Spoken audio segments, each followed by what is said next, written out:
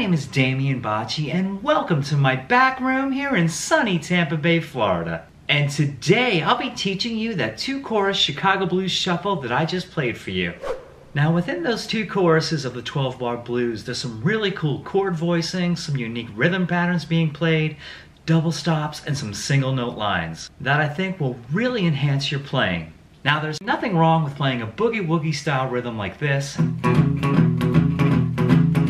But there's certainly nothing wrong with changing things up a bit and maybe adding some horn line stabs and some piano based fills on the guitar. And by doing this, it gives your playing some variety and gives you a list of options to choose from when playing over a blues.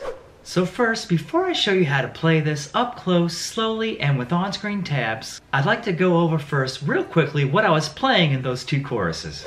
So we're playing in the key of E today, and I start with a four bar intro before we get into the two choruses of the 12 bar blues form.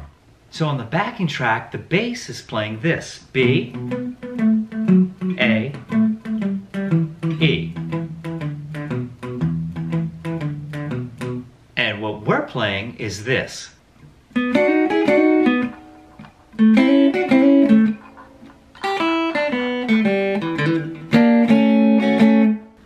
So to start off, I have my fingers positioned on a B major triad here, and we've got that minor third to the major third going on. Then down to A, and then we play this. And it's basically just going down the E minor pentatonic scale with some added flair doing those hammer-ons for some bonus flash points. And that quick little double stop, well all that is is just basically a C9 and a B9 chord, and I'm just playing only the G and B strings of that. Alright, and now we start the 12 bar blues form, we're over the one chord, and we jump into it with this double stop motif, playing that minor third to major third thing again like this.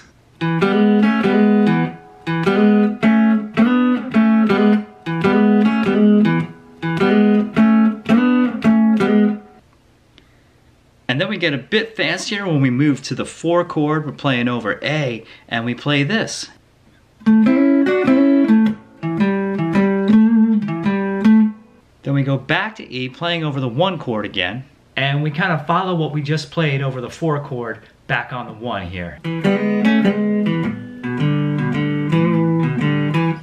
And to finish up the first chorus, we play this over the last four bars.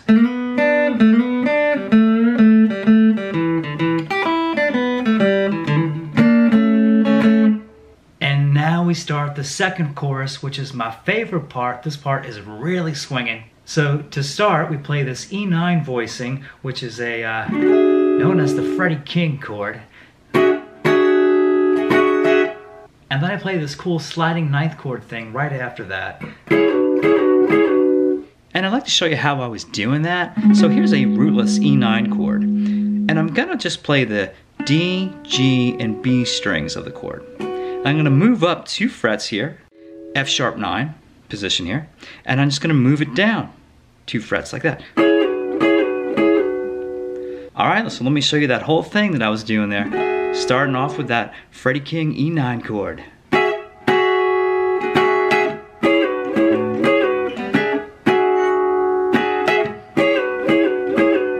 And then we move to the four chord and we play A9. I'm doing there is playing the notes on the A, D, and G strings here. I could play it down here if I like. Um, but playing it here, up close to where we were playing the A9, is very economical. Instead of having to move down here. But I like how it sounds up here too. You can get a, a real tough sound, you know, it's thicker. And then when we go to the five chord, we play B9. And to finish everything off, we just play that E minor pentatonic run again. To a nice ending there with the E6 chord. Now here's a little tone tip if you'd like. Uh, during the performance of this, what I did was have my amp set to the edge of breakup I wasn't using any pedals, just plugged straight into the tube amp, and that was it. And the reverb up, um, but that's all. No pedals or anything. Just as you break up, get that cool, nice, fat, bluesy tone. Now, if you're digging this lesson so far today, please give it a big thumbs up and don't forget to subscribe to my channel if you haven't already. And if you'd like to take your jump blues or rockabilly guitar playing to the next level, I have two great full-length courses on jump blues guitar and on rockabilly guitar. And they're both available at my website at damianbacci.com. All of the lessons come with PDF file guitar tabs and backing tracks and the courses are available as a DVD or as a download. These lessons, friends, will not disappoint. Now, friends, basically a lot of what I was teaching you today was inspired by Robert Lockwood Jr.'s playing on Little Walter's Shake Dancer. It's a really great instrumental. Harmonica's taken the lead on this tune, but Robert plays some really great backup behind him. Great stuff. If you haven't heard the song before, check it out. Little Walter, Shake Dancer. And now let's learn this up close, slowly, and with on-screen tabs. And don't forget to check out that backing track to practice this after it at the end of the video. All right, let's do this. Yeah!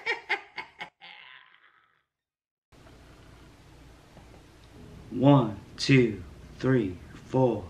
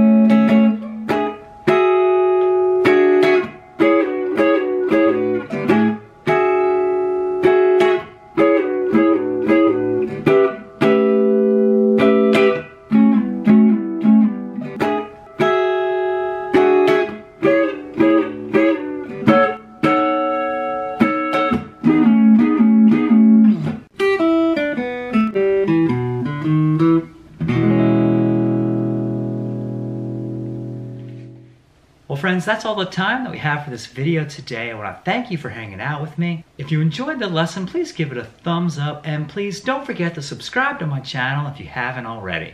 And if you'd like to take your jump blues or rockabilly to the next level, I have two great full-length courses that are available at my website at damianbacci.com.